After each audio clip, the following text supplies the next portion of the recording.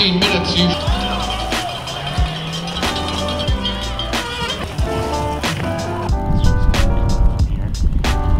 I got on a plane to come to Cross Nationals again.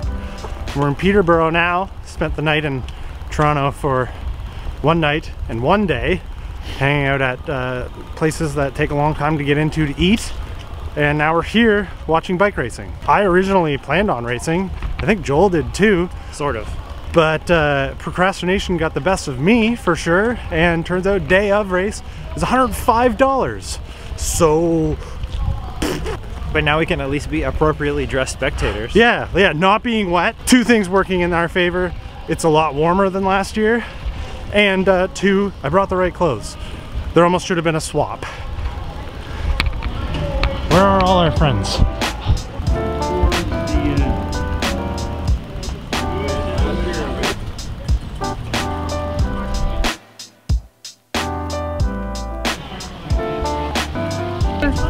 Are you some cute? Yes, I am. How'd you do? Attaboy, Frank!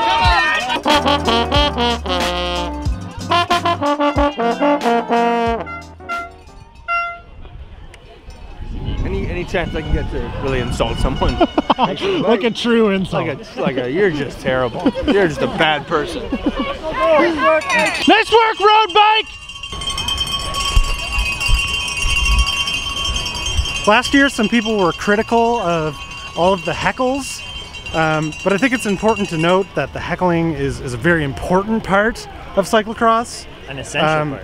And if you're racing and someone's saying something nice to you, or you know is trying to give you like some sort of motivation in a positive way, it doesn't have the same effect as when something cuts deep.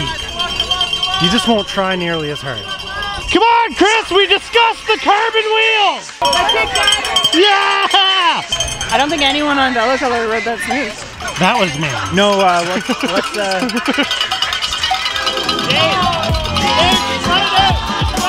When in doubt, ride it down!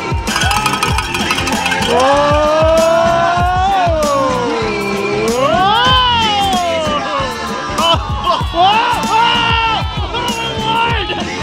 Road bike up the hill! Road bike up the hill! Yeah! Come on, Chris, you've got cantilevers, your bike's lighter, everything should be easier. Here's the here's the t-shirt you bought. Stand up. Lanterne Rouge. Didn't take it. Uh, fucking full headwear. Let's go! Come on! It's better because you're coming up slower. Come on, you son of a... Come on, Brett! Do you want to be glorious or not? Attack! Attack! Well, take that corner slower, man. Take that,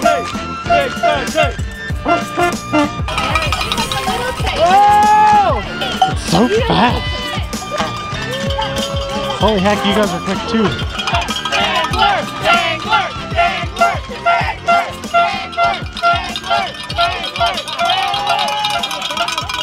Do you need a chocolate bar? The grip's up here!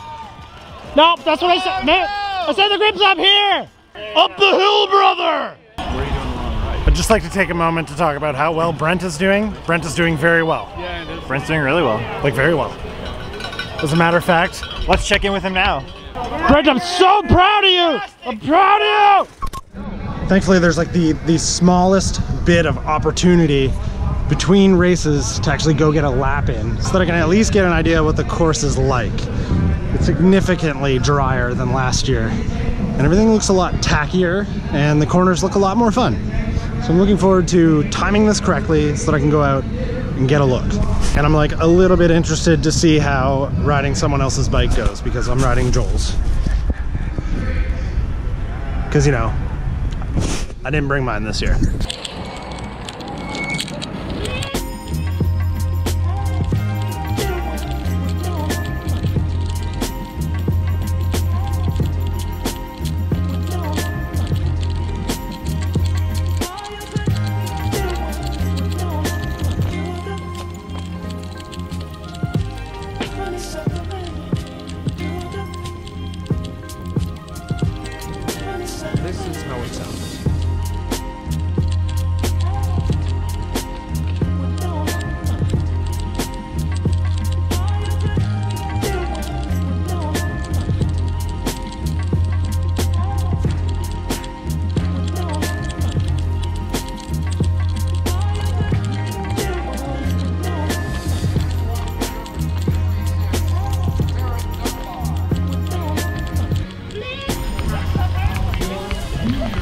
Frustratingly, it's like too cold out for my camera to actually last through an entire lap, even though I'm charging it periodically throughout the day.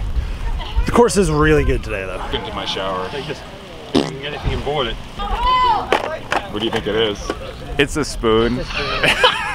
Do you have like a cable stop on at all? Well, it's just my. I, I ran mini V's before. Oh, I used to okay. drill my stem, and you always got you always got a lot of chatter, Right. like brake chatter from Yeah. it.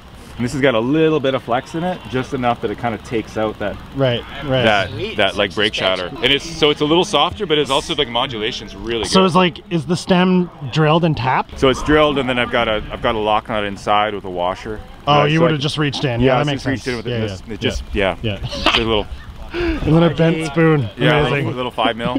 I got these made in. Uh, I found some. I found some sh- some shop in in the Ukraine, and it was just when narrow wide had just come out.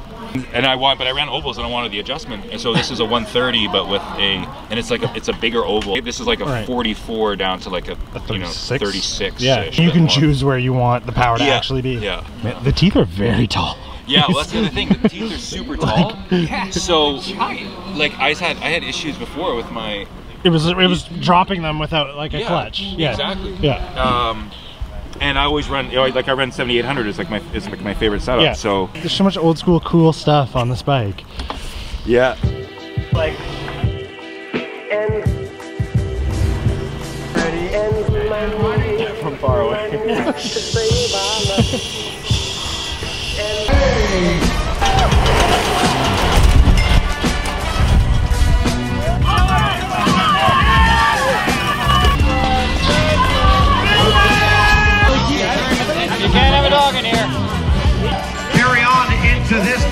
Second.